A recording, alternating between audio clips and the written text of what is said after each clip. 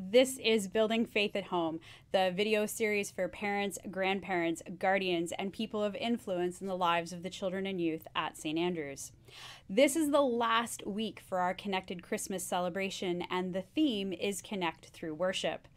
Your Connected Christmas gift bag is full of materials to help families come together through songs, crafts, creativity, games, baking, and acts of service.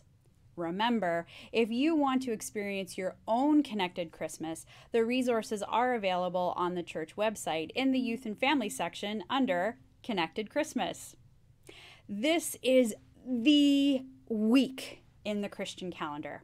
We will worship together today and then again on Christmas Eve. How will you and your family connect through worship together? This week, your Connected Christmas package, well, it encourages families to explore worship through music by making recycled instruments, singing together, and talking about the message in music.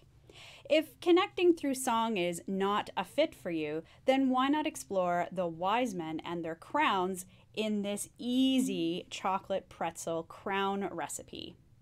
As you wait for the crowns to cool, you and your family can talk about the ways to worship God with your gifts. As you explore Connected Christmas this week, I hope you and your family create a unique worship experience, praising God for the gift of Jesus. Until next week, your family is unique, and so is your family's Christmas faith building experience.